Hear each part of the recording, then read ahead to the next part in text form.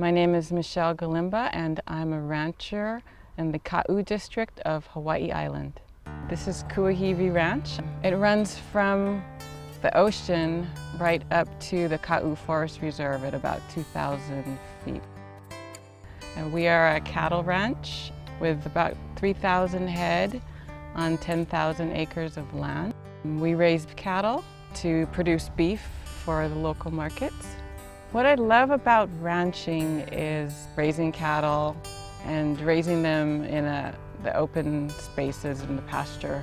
I also really love um, producing food for people, local people.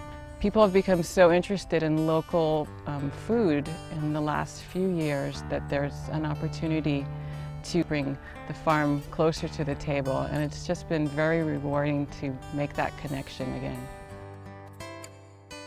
Conditions have been very, very difficult for this ranch here and um, all the other ranches in Ka'u. Um, 2010 was really a biblical drought. It was, uh, we didn't have any rain to speak of from January to November.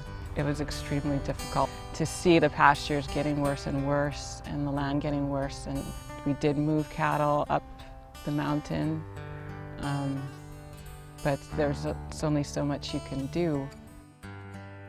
We did have to call um, very aggressively last year, and that is one of the ways that you can manage drought. We're still in very difficult circumstances, as you can see. Part of our drought management strategy is building reservoirs um, up on the mountains.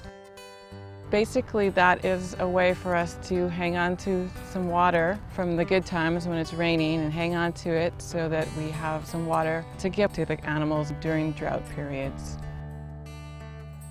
The climate information that's most helpful to me is actually the, the large-scale weather patterns, the um, projections about um, El Nino and La Nina, so that we have some idea of what the weather pattern might be in the coming year.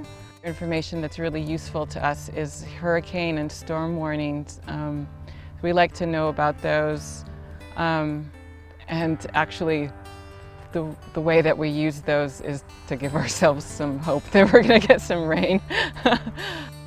Climate matters to me because I'm a rancher and I depend on the rain to produce food for my community.